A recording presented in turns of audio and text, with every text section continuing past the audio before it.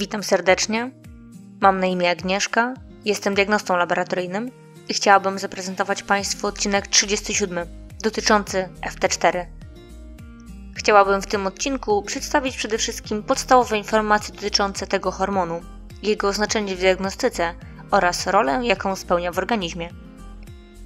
Zaczynając od początku, warto po raz kolejny przypomnieć hormony wytwarzane przez tarczycę.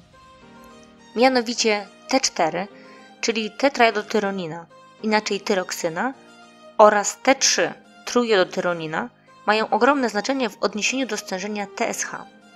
Hormon tyreotropowy pobudza tarczycę do działania, zatem to od stężenia TSH uzależnione jest stężenie tych dwóch hormonów tarczycy. Tworzy to pętlę ujemnego sprzężenia zwrotnego, której zmiana stężenia TSH w odniesieniu do zmiany hormonów tarczycy ma charakter wykładniczy. To znaczy małe zmiany T3 oraz T4 odpowiadają dużym zmianom TSH. Ponadto zależność między tymi hormonami odłożona jest w czasie. W tym prostym rozumieniu, aby zweryfikować pracę tarczycy, należałoby oznaczyć poziom T4, T3 lub obu jednocześnie i tak to w rzeczywistości powinno wyglądać.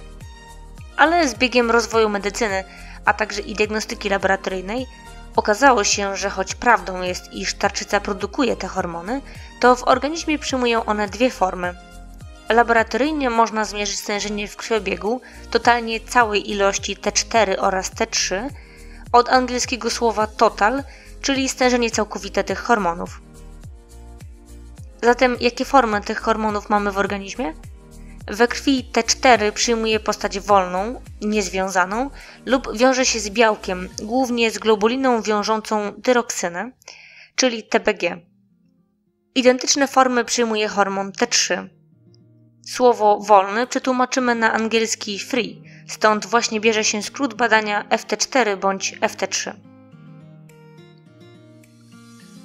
Oznaczenie całkowitej ilości T4 zostało w przeważającej części zastąpione jego oznaczeniem wolnej formy FT4, która stanowi tylko około 0,1% całkowitej T4. Dlaczego tak się stało? Mianowicie stężenie formy związanej z białkiem uzależnione jest od ilości białek w krwiobiegu, mogących związać się z hormonem. Oznaczenie wolnej formy T4 jest testem nowszym, który nie jest wrażliwy na poziom białek, co przemawia oczywiście za pragmatycznością oznaczania FT4. Dodatkowo uznaje się, że pomiar FT4 daje dokładniejsze odzwierciedlenie działania hormonów tarczycy. Wiele stosowanych leków może interferować z oznaczeniami T4, to znaczy zwiększać lub zmniejszać wartość otrzymanego wyniku. Do tych leków należą estrogeny, środki antykoncepcyjne, leki przeciwpadaczkowe i stosowana w dużych dawkach aspiryna. Warto również wiedzieć, że te same stosowane środki farmakologiczne nie mają większego wpływu na wyniki o znaczeniu wolnej frakcji FT4, co stanowi kolejny argument za stosowaniem oznaczenia wolnej frakcji tyroksyny. Już tylko na marginesie dodam, że z punktu widzenia diagnostyki laboratoryjnej oznaczenie FT4 jest tańsze, bardziej dostępne, łatwiejsze do wykonania i nie wymaga stosowania specjalnych procedur, chociażby dlatego, że związek ten jest stabilniejszy w surowicy niż forma związana z białkami. Wiemy już, dlaczego forma wolna oznaczana jest częściej od formy całkowitej. Ale dlaczego częściej na zleceniu pojawia się FT4 zamiast FT3? Tarczyca wytwarza tyroksynę i trujodotyroninę pod wpływem działania przysadkowego hormonu TSH. Proporcja dziennej produkcji T4 do T3 wynosi 3 do 1. Należy zauważyć, że tylko 20% trujodotyroniny wytwarzana jest przez tarczycę bezpośrednio. W tkankach na obwodzie dokonują się następujące przemiany. Przekształcenie tyroksyny w aktywny hormon T3 w wyniku tych przemian powstaje pozostałe 80% T3. Przekształcenie T4 w nieaktywną izomeryczną formę RT3, tzw. Tak rewers T3, odwrotna trujodotyronina oraz degradacja T3 oraz T4 przez enzymy dejodynazy. Co ciekawe, efekt końcowy w większym stopniu zależy od obecności we krwi FT4 w porównaniu z FT3. Wynika to nie tylko ze zwiększonej produkcji T4 początkowo przez tarczycę. Na ten stan ma równocześnie wpływ fakt, że FT3 jest mniej dostępny za barierą krew-mózg, czyli nie odgrywa tak istotnej roli w układzie sprzężenia zwrotnego przysadka tarczyca jak FT4. Sytuacja wygląda zatem następująco. Jeżeli z powodu zaburzeń tarczycy lub niewystarczającego stężenia TSH tarczyca nie wytwarza wystarczających ilości T4, u pacjenta występują objawy niedoczynności tarczycy. Jeżeli tarczyca wytwarza zbyt duże ilości T4, u pacjenta występują oczywiście objawy nadczynności tarczycy. Objawy tych stanów jak najbardziej są Państwu już znane z poprzednich odcinków. Wysokie stężenie wolnej frakcji FT4 lub całkowitej ilości T4 może wskazywać na nadczynną tarczycę.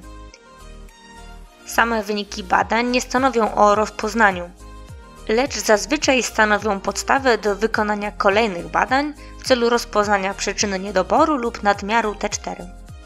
Wyniki badań oczywiście zawsze warto odnieść do stężenia TSH wykonywanego w tym samym czasie.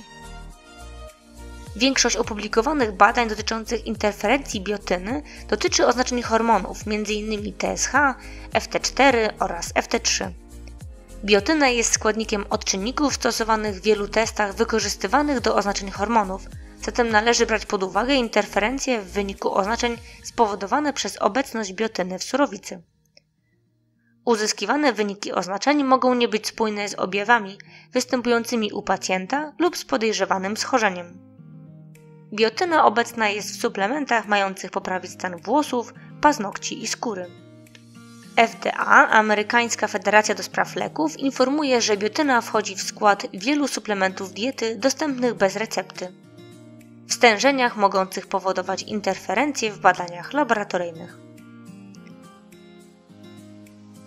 Oczywiście już tylko dla utrwalenia. FT4 lub T4 należy oznaczyć przed przyjęciem tabletek na tarczycę lub zgodnie z zaleceniami endokrynologa. Hormony te należy oznaczać rano z uwagi na skojarzone oznaczenie równocześnie TSH oraz zakresy referencyjne ustalone dla porannych warunków pobrania materiału. Zatem FT3. Wydawałoby się, że w poprzednich odcinkach dużo już zostało powiedziane o tym właśnie hormonie. FT3 oznaczane jest o wiele rzadziej niż FT4, ale warto poznać kilka szczegółów dotyczących FT3, zwłaszcza kiedy wyniki badań są nieprawidłowe.